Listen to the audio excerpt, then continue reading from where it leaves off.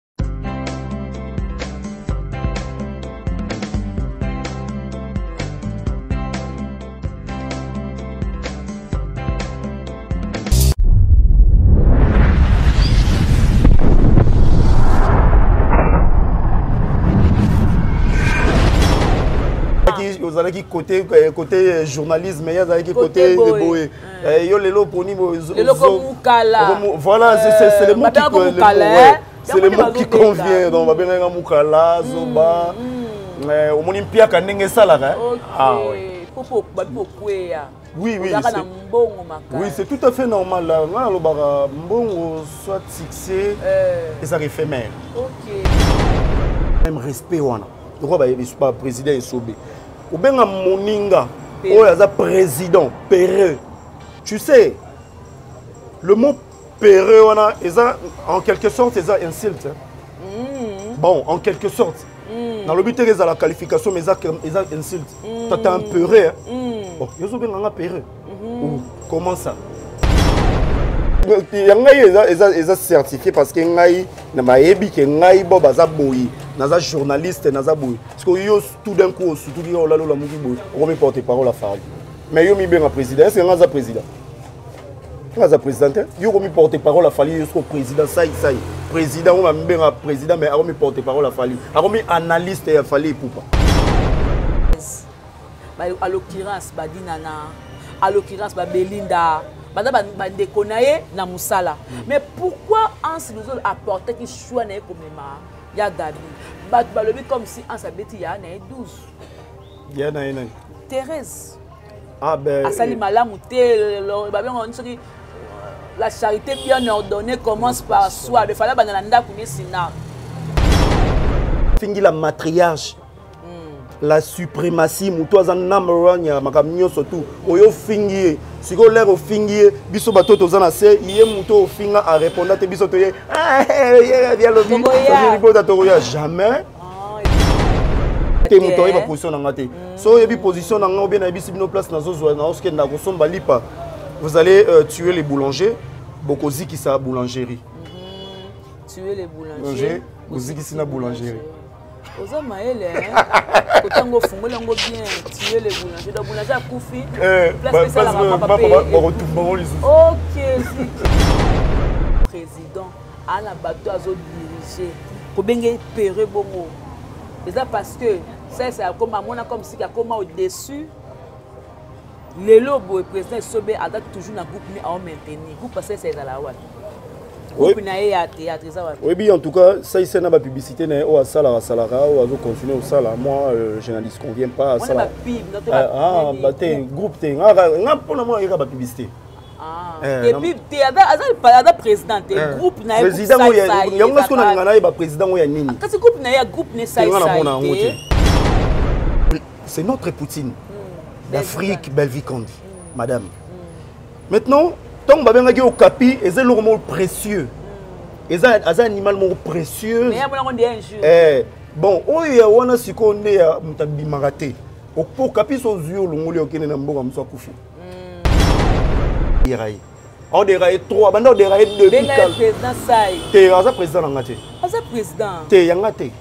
te ya bato ya deja bacomédie etali ye nde singa ngai saisai apesano te nasala te ya maboke ngai aza journaliste soki nakobenga motu s'il faut na respecter motu moko sans flatterie je dois appeler madame bellevie kandi qu'est-ce que nous etant que bato bato oyo todefendaka ye tokoki koapporter vie na makambo oyo ase retire na ye na kosoutenir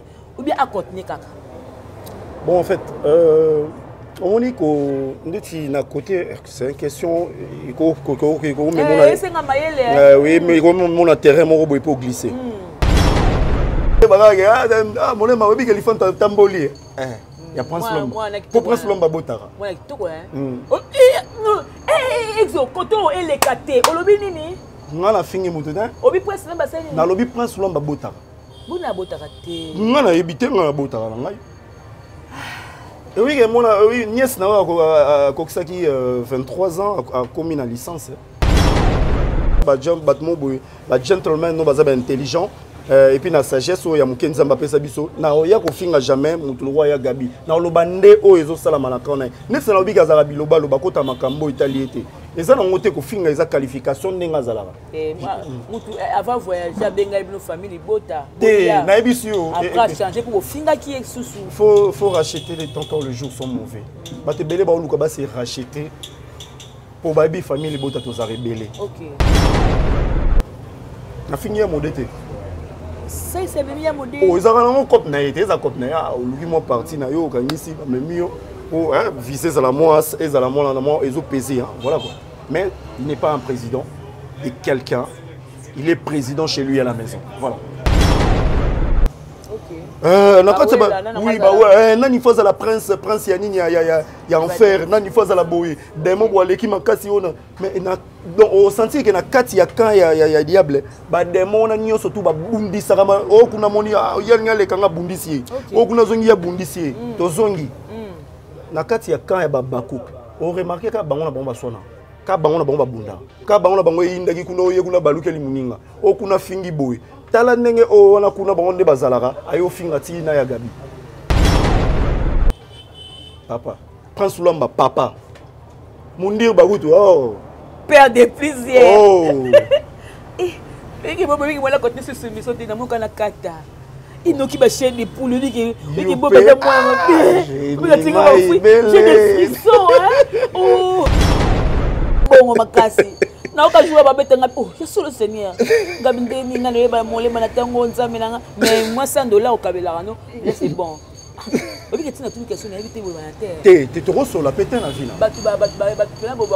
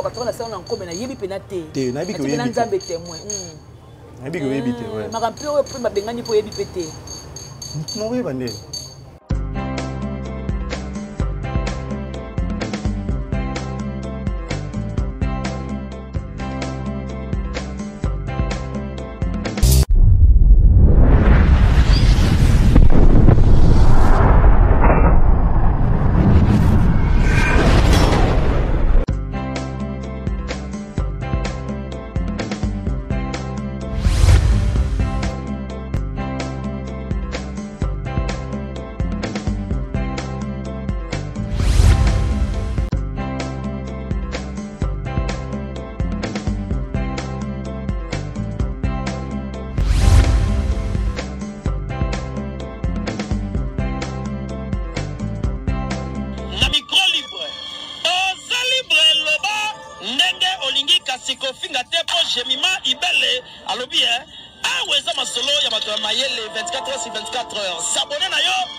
okozwa bainformation ndenge esengeli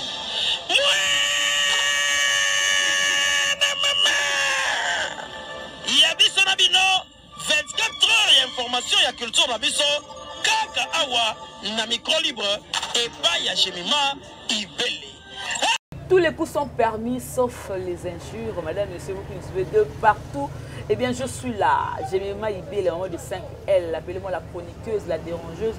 La paniqueuse, la femme du patron, la giga, cela pour vous donner la joie, la gaieté et surtout passer des très très bons moments ensemble avec votre chers téléspectateurs de partout où vous êtes en train de me suivre alors nazalaka vraiment na esengo mingi ntango namonaka bino nakotaka na bandako no sans permission mais bozapaka nga te bokonsomaka nga boemaka bopartageaka ça me fait énormément plaisir déjà na batemp fort bomoni mon invité c'est bob molema moko ya biso ya famille libota asala choix na ye sans kobanga et puis il est libre de faire son choix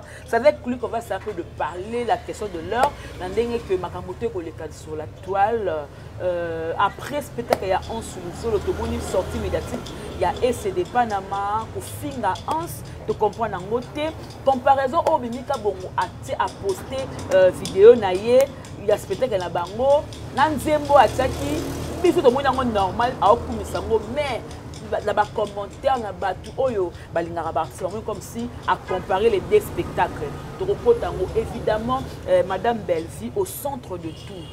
toujours soki asali bolamu ezongelaki toujours mabe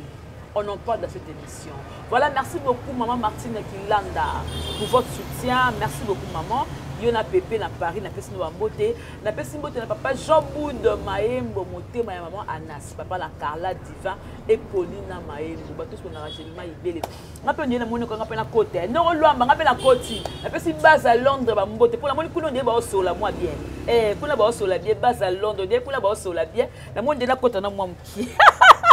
voilà la maison beauté hein? maman hortense depuis paris je vous aime hein? donc euh, bato bengaka biso la grande h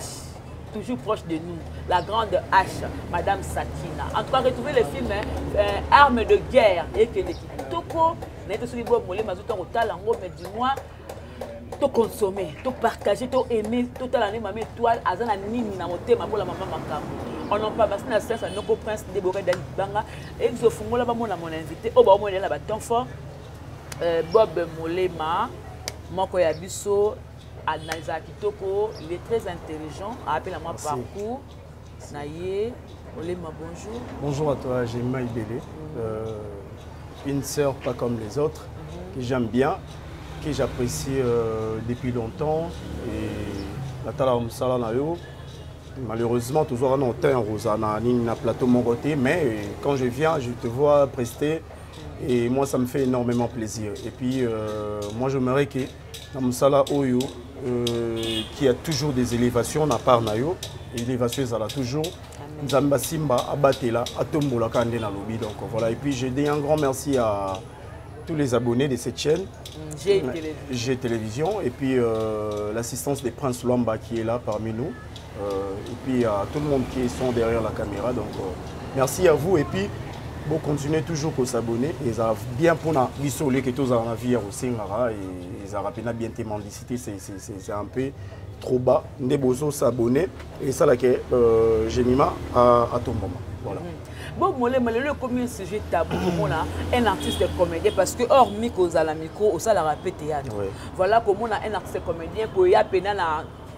courage nyonso kondima ke ngai naponi na ngai camp x ntango yo moko natele bavideo na olobi ke no ngai nde naza boye na ndimi ke naza na ngai famille na nsima nango ozwaki barepercussion te yo mpe na boye mobali boye ezosopa bino okaki yango te oui ebele ebele ebele hmm. kofinga surtout kofinga epuis euh, via box na ngai ya ya hmm. whatsapp euh, mosusu bayaki via box na ngai ya nini ya messenger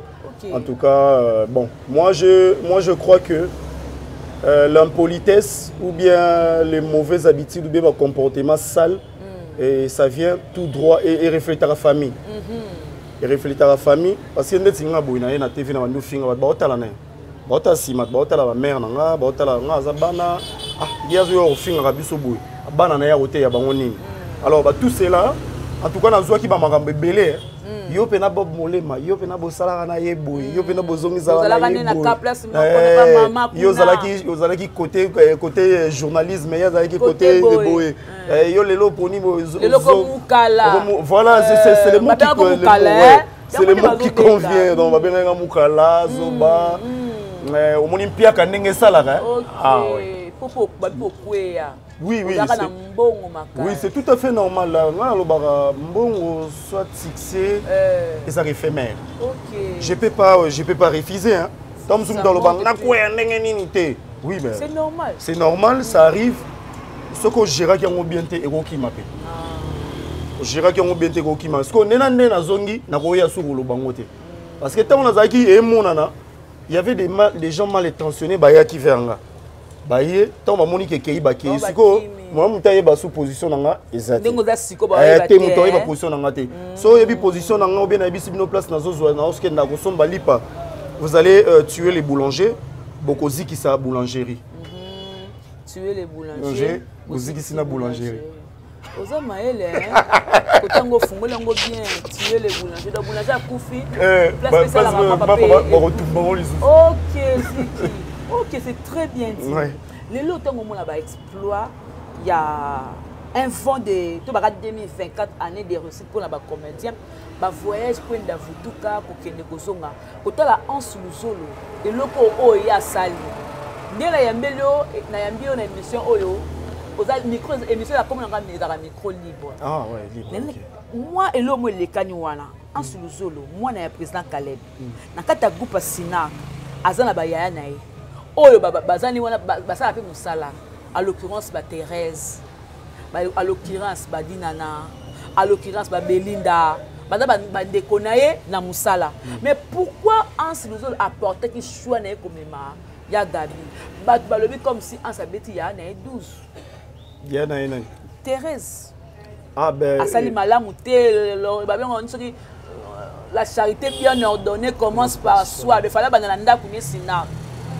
bon en fait euh, moi je crois que en saza mukolo mm. en saza mukolo euh, moi je le respecte hein, communément on a respecté rien en tout cas na musala na ya salara c'est un c'est un garçon il est au top mm. franchement il est au top moi je te félicite nana lingate na na se voiler la face na lobote inste anse en tout cas fait bien son boulot okay. eza te parce que lelo akomi anse wana ngai abandaka oseka makambo anse depuis époque ya, ya, ya, ya, ya, ya sinark mm. naza koseka fort so namoni ka anse na kati ya place ya eh, tableau ya anse en tout cas tableau ya anse nakorata yango te okay. alors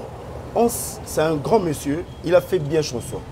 son choix. Donc choix atala... oh, pas Gabi. Oui. Et ça choix bien. Hier mon condemn t'a monique a sali choix bien. Oh. Oui. Tant que sali choix na ye. Ah. sikoyo ndeti anse atali baartiste baza ebele epa euh, président caleb amoni na ye kefa azwa euh, euh, gabi gabriel sikoyo ndeti nga motu lokola nga na oyo oconteste na choix na ye pourkui eza sentiment na ye bon, bon, asexaka te Eh, ye azalaka na ye bilobaloba na makambo oh, etali te te yo lobi na ngai tofinga te ah, ah, nzambe na ngai nayebi te prince lomba na bandi ofinga ana ofinga te te ngai biye azalaka nde bilobaloba akotaka makambo oyo etali ye te ah, akata yango eh. mm. bon mare alinga te te exo eh, o comprendre eh,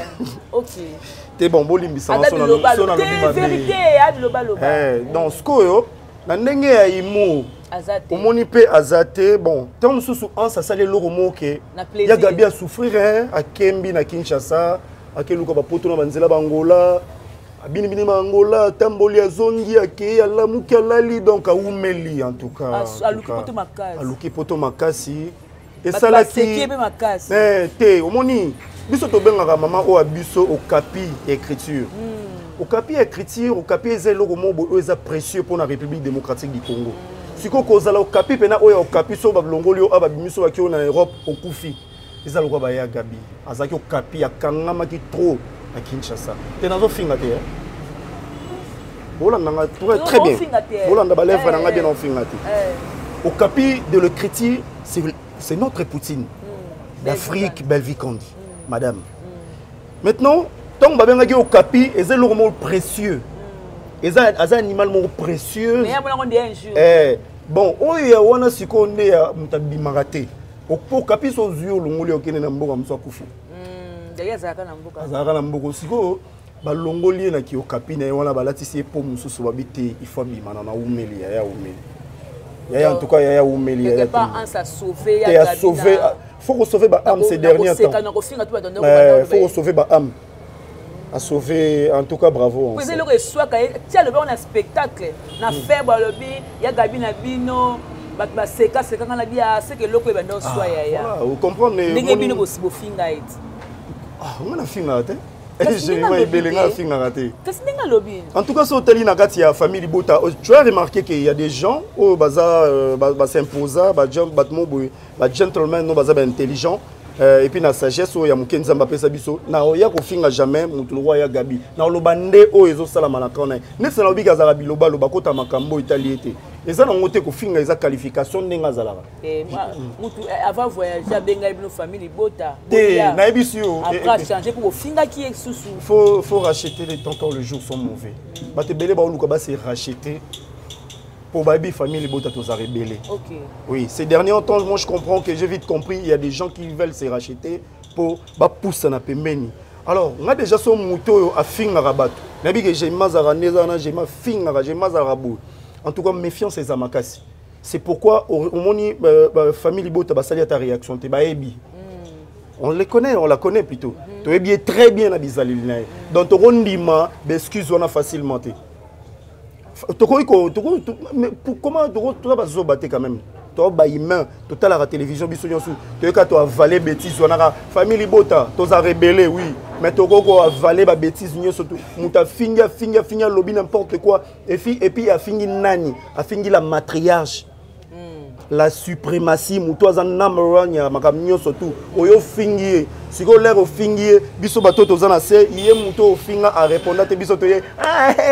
yalobiota tokoya jamais ah, jamais jamais ayebi ke famille libota nde kaka tolobaka kaka tokota ta makambo babase ya londres ya, ya, ya, ya prince lomba kuna babase ya paris babase ya belgique ayebeke so alobi komba famille libota bayo atondisa sale hmm. batala ye baimage oyo ya, ya sale ya belgique eh, batala ye nde ezalaki plein bayaki otala madame hmm. donc c'est-à-dire bako se racheter pour faire venir les gens or ansa aza na bato na ye euh, fantomas aza na bato na ye yo koo se racheter te mpo bende esprit ya bato wana bato wana bayebi ke tu as beaucoup insulté pas, euh, pas comme permis bamama ya bato bapapa ya bato obenga bato okola bato baveste oyo fale pas okole bango olatisa bango yango donc on peut pas euh, avaler des bêtises facilement comme ça voilà eloko oyo esalinga mwa nuance lelo obe ensemble ya gabi mais ya gabi amibengaki aza na ye abakouk hmm. mais efale ezala honneur bato ya ngambo ya babakouk basepela ti moko ya biso anse amemi ye mais tomoni kuna esi de panama afingi euh, anse parce que anse asalaki blague moko ya système Hein, to tia ba rideau asala humoriste mm. olafinga ka ans oyo ayaki te akoti na bana na mama rythme wana ya ngambo babaku kofinga wana mpo na yo nani akoosisa yango je vais te dire une chose ma soeur en tout cas ah, omoni yango nalobaka ba intelligence mosusu baémission mosusu euh, bato mosusu basalaka baémission te ça c'est une émission mm. je vais te répondre calmement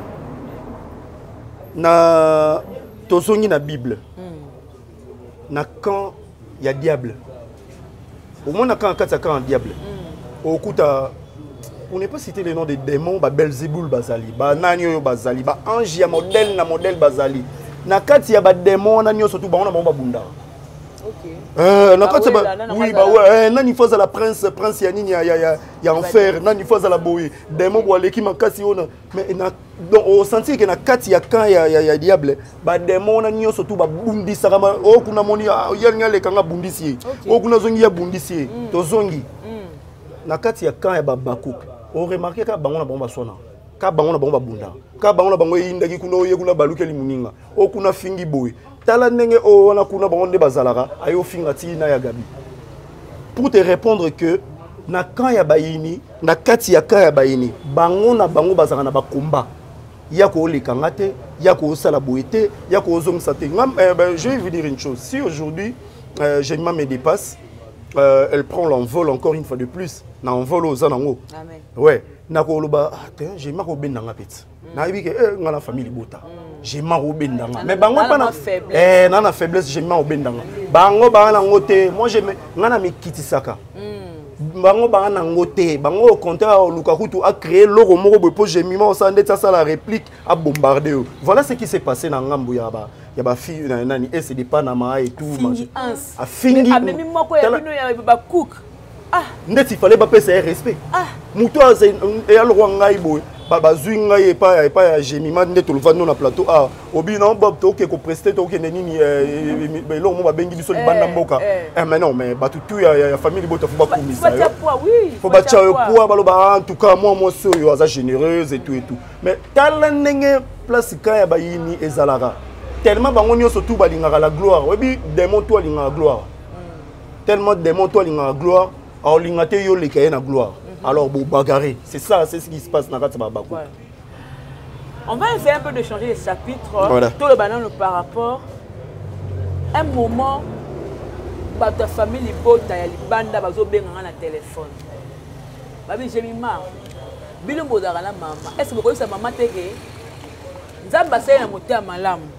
mais akoki mpe te kotala makambo ezoleka mpe na mokili azwa mwa motema moko mpe ya kokanga moni nzala motema mwa dure pourquoi parce que c'est comme si ntango ayaka kosoutenir bandeko ne oyo alinga bala boye aye vers ye mama ye na kale na plan eloko boye boye apesi e, mama ye boye na boye on dirait retour na yango ezaka déception retour na yango eza mafinga na bato balingaki ye te pour dire que madame davis soki akoti neti na libala ya motu nsima na yango declin nsima na yango kopanzana batangi bakama bagrace temo oyo babosi ekendo grace temo na mobali naye makambo na bango bake makambo mosusu mpe ya dakosa yango kuna ete dakosa soki akabwana biloko ya bongo tu vois pas que non lelo un eh, moko bolamu ya madame david ezomonana te eh, bob molema qu'est ce que nous etant que bato to bato oyo oh, todefendaka ye tokoki koapporte vie na makambo oyo ase retire na ye na kosoutenir ou bien a continuer kaka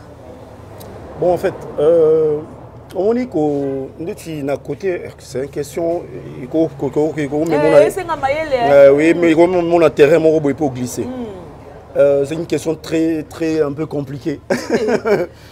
euh, kopesa mutu lokola madame bellevie conseil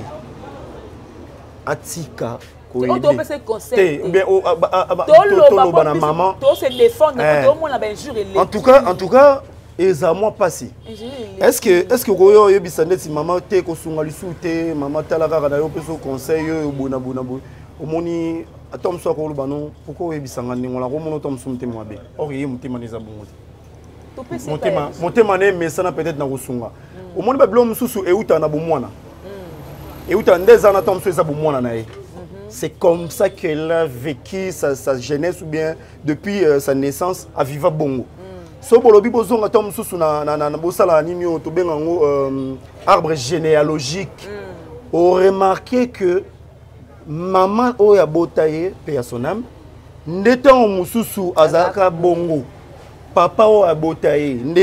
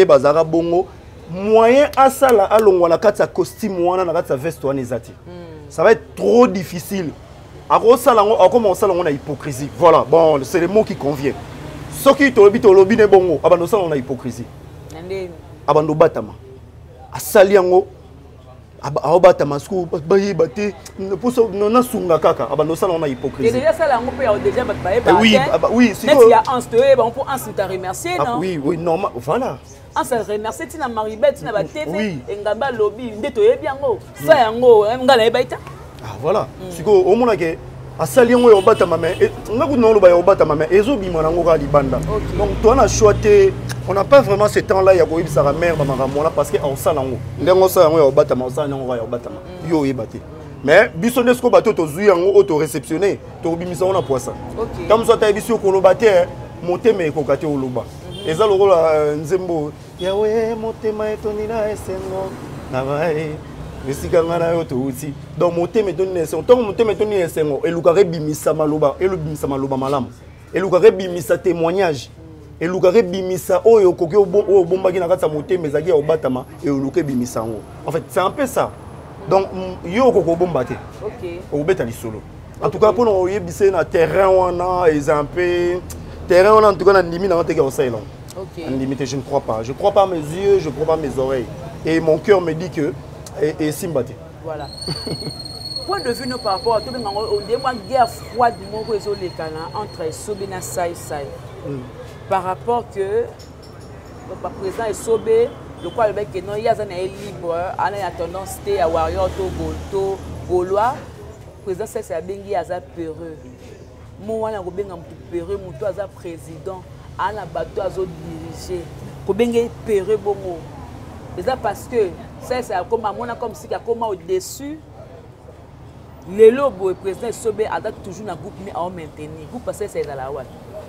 groupe na ye ya théâtre eza wapi oyebi en tout cas saisa na bapublicité na ye oyo asalaka asalaka oyo azocontinue kosala moi euh, je na disconvient pas asala ah, ah, te groupe te nga mpo na mwa ayeka bapublicité Ah. Eh, aza président te eh. groupe na yango esiko nalinga na ye baprésident oyo ya nini kasi groupe na ye ya groupe na esalisate ezalaka ah, ekufa ezalaka su te Ah. nakoma omona baya yango mosusu na metro na banini na bakitambo baotambola tambola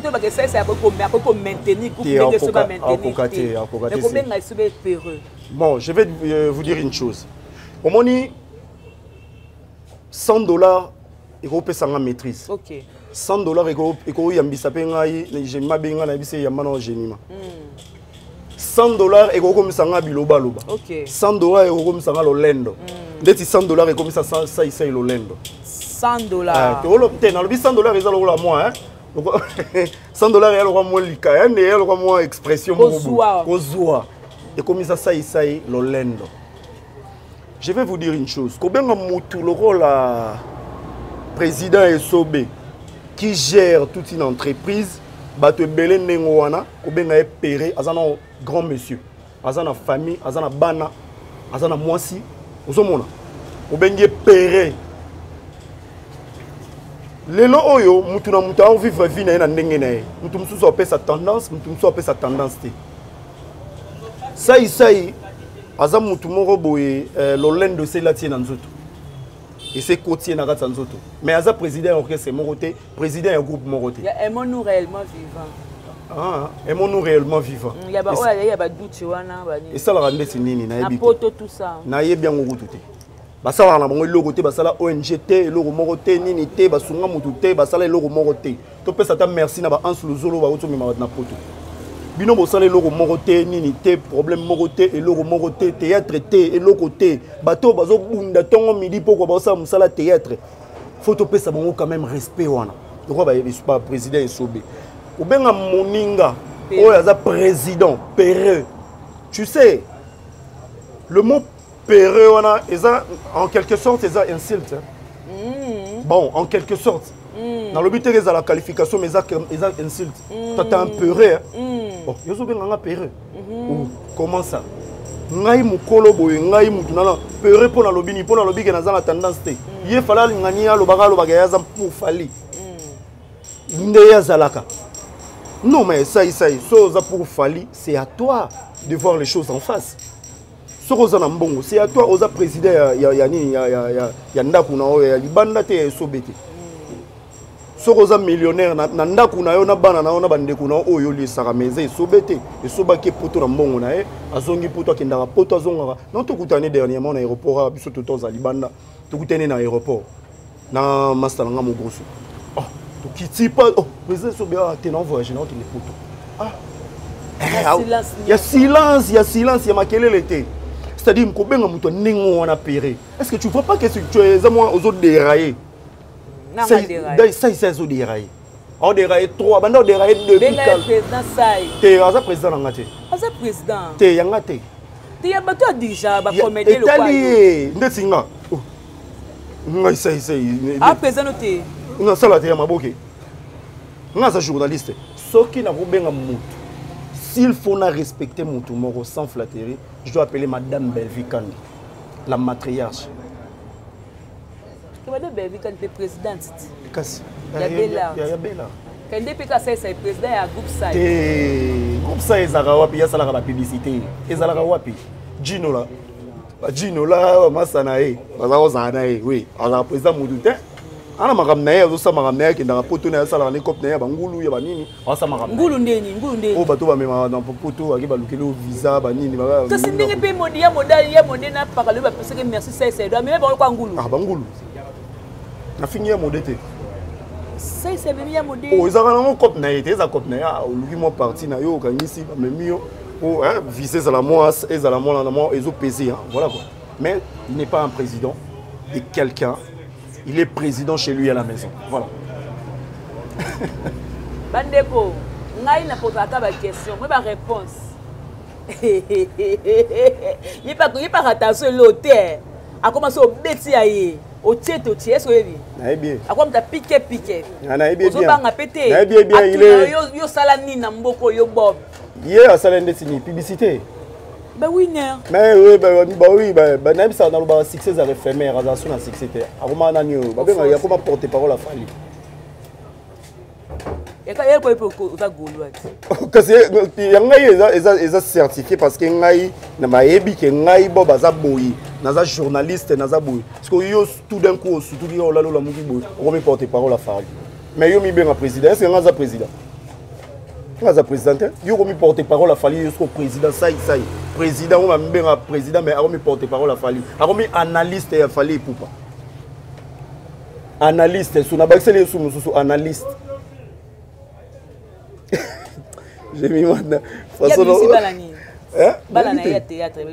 nayebi te ngai monaka ye moko namonaka ye moko na nini na nini na ye wana alata makaku na ye walataka oh, te en tout cas eloko namona yebalobaka mabe te nalobi boye nalobi boye na bisaisai abimisi bana combien na théâtre yo olobi na ngai omonaka ye na makaku alati Ça n'a rien à voir. Bon, quel, quel, oh là là, mon Dieu. nazo luka so nayeba bato nini abimisi me ah namoni ka biloko oyo abimisaki eza maka ko alata na perike bongo jinola ye abimisa ye te yo jinola masta masta ah, masta abima na befort na ye ya ji ya ji nani na ba v12 e ba v12 esa sa esa etentamisa bango te bango babala mbala bayaka basangana ya papa kadiombo no voilà mpe ya sonama ah, baza bandeko na kati ya jemima oyebi no makambo nyonso tu nde ezokende me ozolukaka okotisanga na kati ya fere yango eh. baza bato baotie pa papa kadiombo moto abimisa motu kuna aza te eh. bave 12 baa na baforce na bango bajinola baa na baforce na ye bango tu baa na bamakambo na bango mm. papa kadiombo nde moto azalaki la suprématie ya la suprématie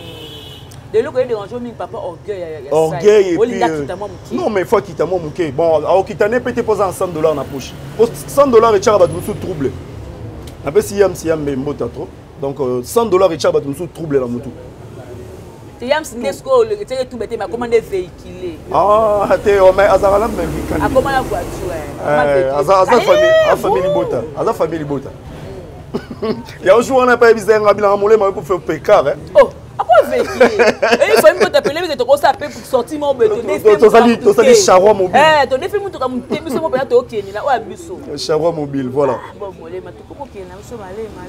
vraiment mare nasepeli na émission no molema oyebi kelifone tamboli ya prince lomba po prince lomba abotaka exo koto eleka te olobi nini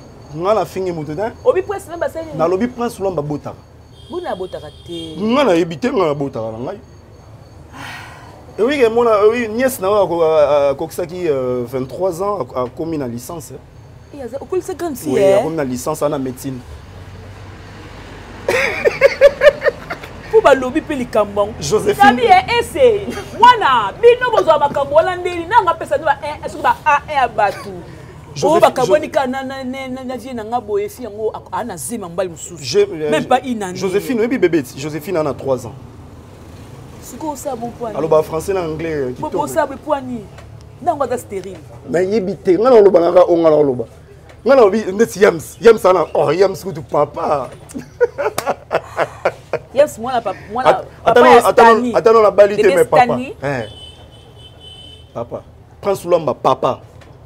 Mundir Bagutu oh. Père de plusieurs. Oh. eh, biki bobo biki wala kote susu miso te na muka na kata. inoki bachaine epulu niki niki bobe eza mwana mabe bikatinga bafui j'ai des frissons hein oh j'ai mon cœur à la chamade mon cœur bat à la chamade motema emati eh. hmm. biso toya bapapa makasi ah. hmm. tozwa mpe na charge ya bana nde naza boye nakembaki ye eh. natekaki ti na télévision fo nafuta université hmm. nayebi souffrance wana ya bana na souffrance moko ya suka nde chance kaka madame bellevue mutayedenga okende okende obeta kaka ko te nabeta ye te atalaka na tv nabeti liso mona bi mwana asala ye spiderman aotala tablette boye agne spiderma na tiaka boye ye paki apumbo na escalier alakwei omoplate ezwaki choc ngai na obeta lisolo mare abi o oh, mwana mobulu boye leka na okuna nga mpe nabeta mambo ya mwana nzambe eh. te wana ezali mama mwana wana ezali matolo te wana ezali mama mwana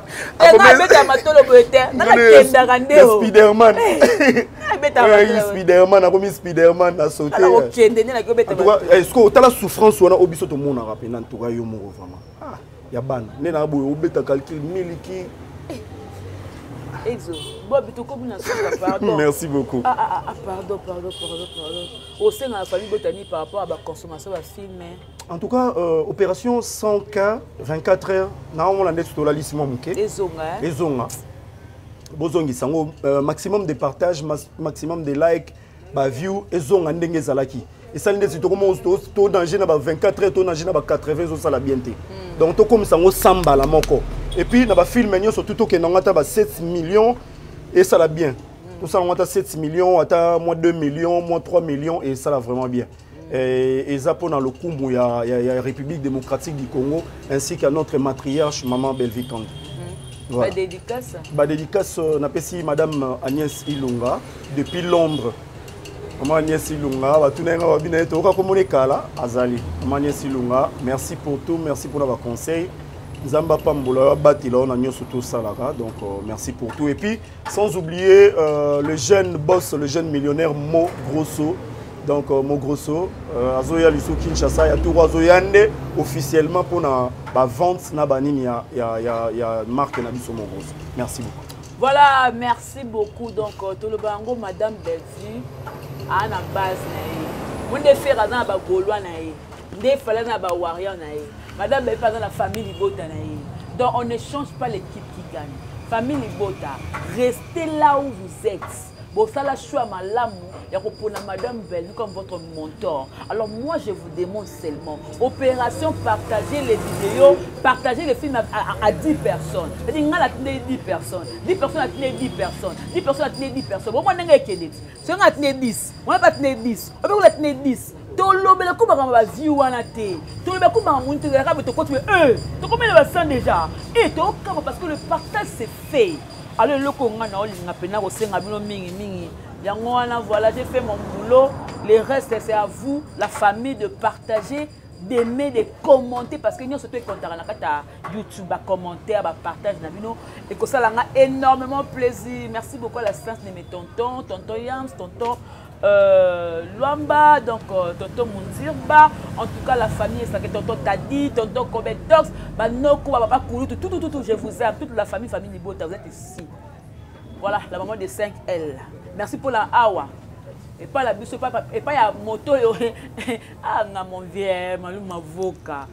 pesanga champagne tabune ya bambanga 250 naza vertige awa tokitoki elate nini afandi kasoka voiture ye boye naa na chiko awa israel la référence e malu mavoka tout ezalaka awa nyonso masanga ata bomona kala awa eza omelango en tout cas merci beaucoup boyaka wana na matonge sur couloir saidi israel la référence chez les vieux malou mavoka merci beaucoup evode mekebi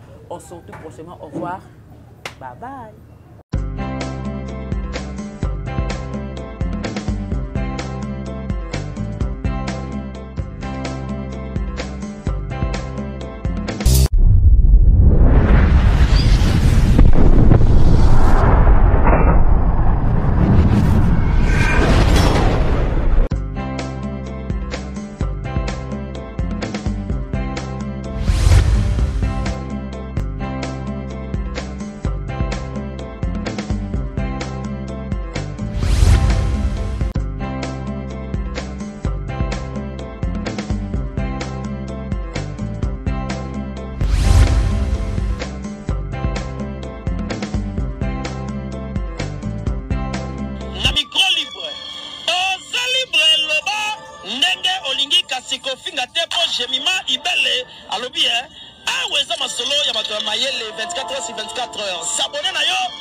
okozwa bainformation ndenge esengeli